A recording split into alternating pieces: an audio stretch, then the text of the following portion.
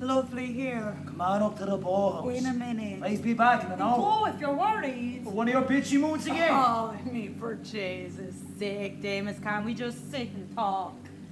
Or do you not want to talk to me?